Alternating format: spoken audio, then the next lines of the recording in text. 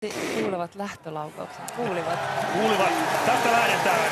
Naiset yhdistelmäkilpailu Lahden kisoissa. 7,5 kilometriä perinteisellä hiihtotavalla ja sen jälkeen kaluston vaihto 2013 ja Faalivissa 2015 Suomi on saavuttivan Pärmäkoski oli osallisena molemmissa Kiemmessä parisprintin pronssia ja Faalunissa naisten viesti pronssia. Ja nyt sitten Pärmäkoski ensimmäistä kertaa ainakin kuvien perusteella kärki. Joo, ja ilmeisesti ajautui tuohon rooliinsa vähän luistavien suksien ansiosta, että että laski vaan ekana tuohon nousu alle, eikä sitten siinä Jyrkkeneellä, niin kuin nyt kuvassa näkyy, tuolla luist, vaihtoalueella jonoilla perinteisen suksilla, mutta ei siinä vielä hirveästi lihaksia aktivoi.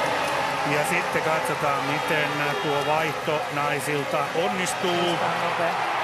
Tosi nopea, hyvin lähti. Nyt vaan sauvat nopeasti käteen. Björgen, Björgen, Björgen jäi tuossa vaihdossa oikeastaan huomattavan paljon. Katsokaa tota. Siis viisi sekuntia hitaampi kuin Pärmäkoski. Ja voittanut kokenut norjalainen Maarit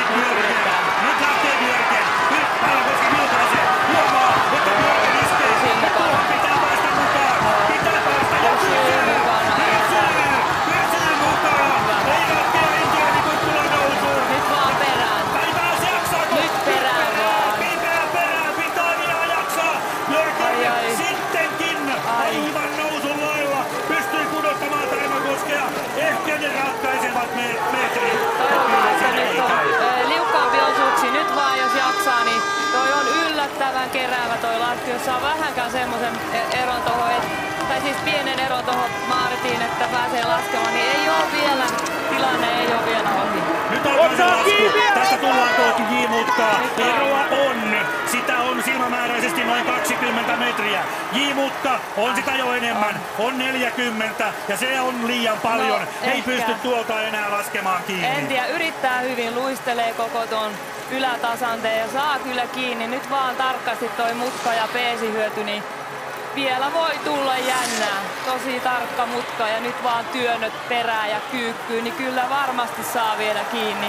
Se kuinka paljon, niin ajautui hiukan ulos tuossa J-mutkassa ja näin Maarit Björgen loppuun myydyn Lahden hiihtostadionin yleisön eteen. Hän on Ei tekemässä hiihdon ö, maailmanmestaruushistoriaa. Tuloillaan on 15 maailmanmestaruus tälle 36-vuotiaalle norjalaiselle